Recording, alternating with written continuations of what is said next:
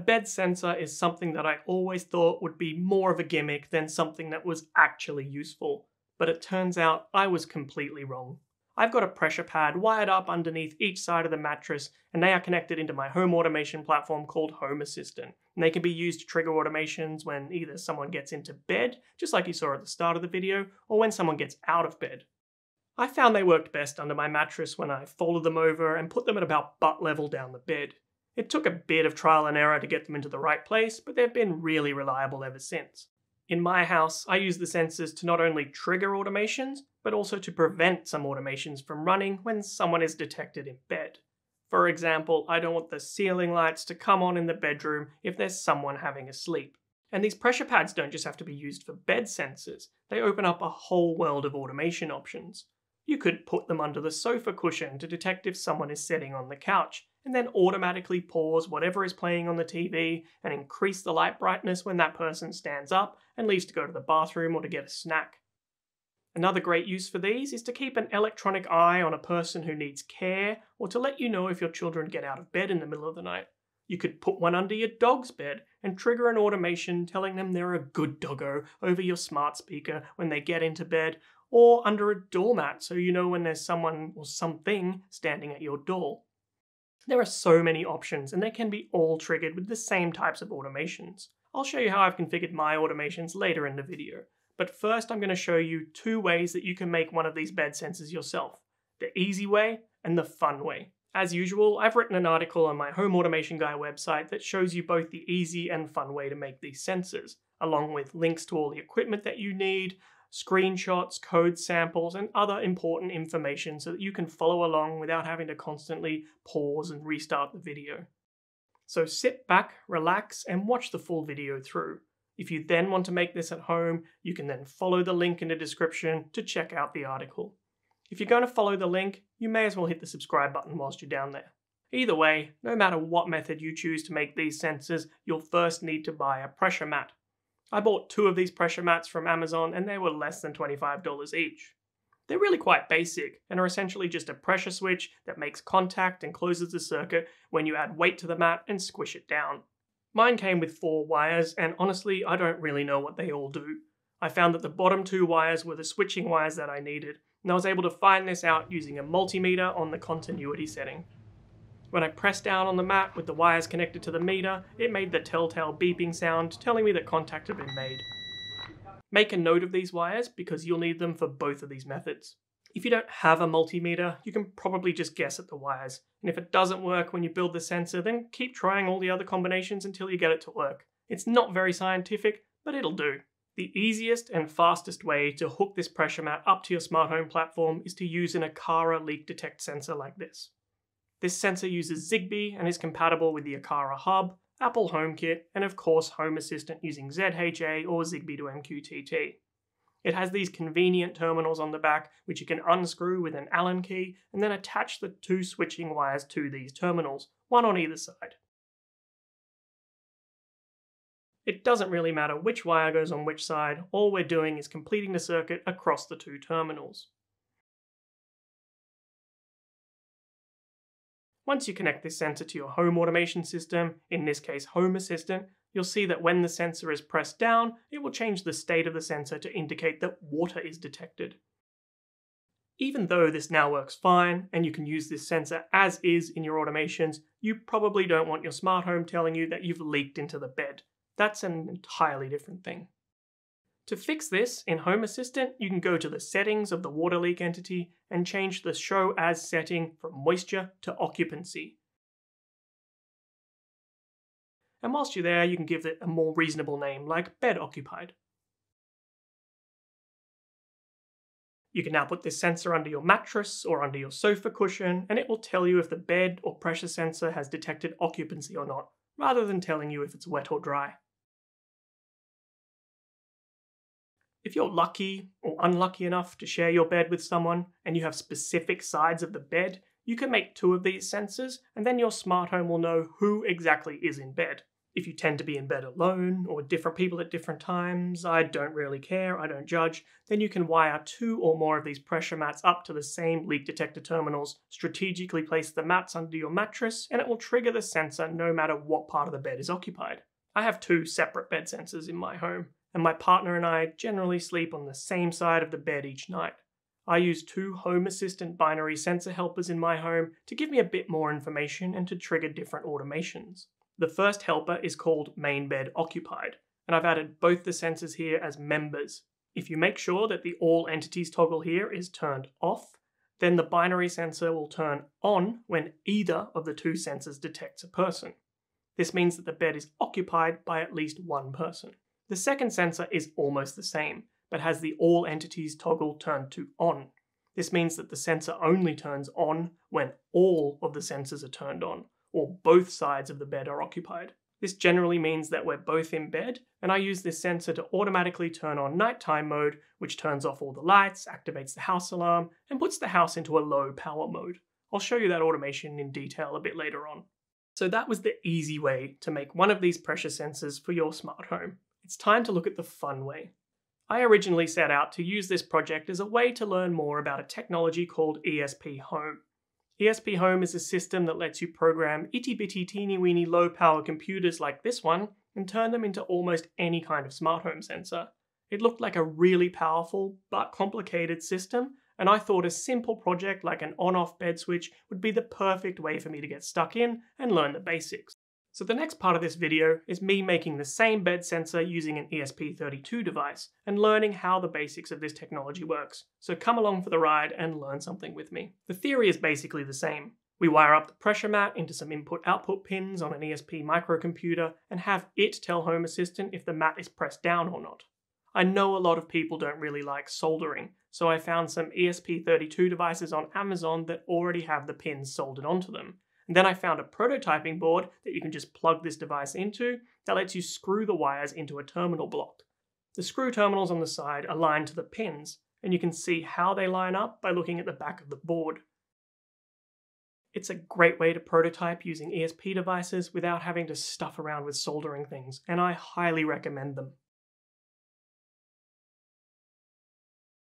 I've decided to wire my sensor into the 13th I.O. pin, known as GPIO13, for no particular reason other than that it's located on the bottom left of the ESP device, right next to where the ground terminal is. The pins are labelled on the ESP board itself, and they probably don't correlate perfectly with what's written on the prototyping board, so make sure that you double check the actual labelling on the device. There are some great resources online that show you what each of the pins mean, and I've linked to some in the article I've written on my Home Automation Guy website about this. I'm now going to screw the same two wires from the pressure mat that we used for the leak sensor into the ground or GND terminal and the D13 GPIO pin. Try and do a better job than I have, you shouldn't have these strands of wire poking out, but hopefully you won't be trying to film yourself doing this when it's your turn. Once you've wired in the pressure mat, you can take your newly built sensor over to your PC and plug it into a USB port. Open up a browser and head over to the web.esphome.io website, which is a web tool that lets you flash the ESP Home software onto your new ESP device. Hit the connect button and select the ESP device from the list that pops up. If no compatible devices are found, then you probably need to install the drivers or make sure that you're using a USB cable that actually has data pins in it and not just a charging cable. If you hit cancel here, it should show you a whole list of troubleshooting options and links to install the correct drivers for your operating system. With the drivers installed and the correct cable plugged in, you can try again, and hopefully this time you'll see a device listed. Select it and click connect. Then choose the prepare for first use link and let it install the firmware. Finally, join the device to your Wi-Fi network. Next up, we need to go to Home Assistant and make sure that the ESP Home add-on is installed. If you're not using Home Assistant OS, then you'll need to install the Docker version, and the instructions for that are linked in the article below. Open up the ESP Home web interface and you should hopefully see your new ESP Home device automatically discovered. Click the Adopt button and bring it into your control. You can now give it a name, click Adopt and Install to make it yours. So to recap, what you've done so far is install the ESP Home software onto your device and connected it to your ESP Home control center. In here, you can start configuring your ESP device to make it do whatever it is you want it to do. To configure your bed sensor, we'll start by clicking the Edit button, and that will bring up the default configuration that was pre-installed when we adopted the device.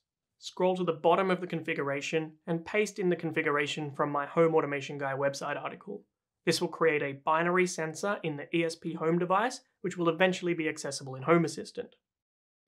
The first part of this configuration tells ESP Home that this is a GPIO binary sensor, meaning that the value of the sensor comes from the GPIO pins, and we're using pin 13 because that's the one we connected our wire to.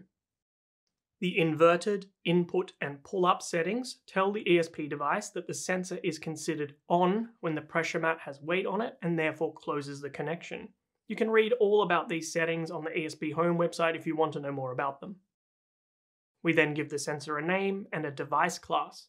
In this case, we want it to behave like an occupancy sensor, rather than say a leak detector or a door sensor. Finally, I've added some filters which have helped me improve the accuracy of this sensor. The delayed on setting means that the sensor won't turn on until the sensor is in this state for at least 5 seconds. And the delayed off means it won't turn off until the sensor has been in that state for 30 seconds.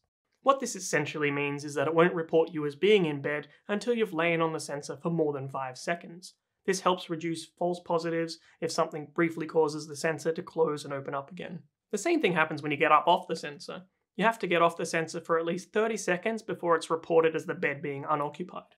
I found that without these filters, the sensor would flip between occupied and unoccupied all night as I rolled around in my sleep.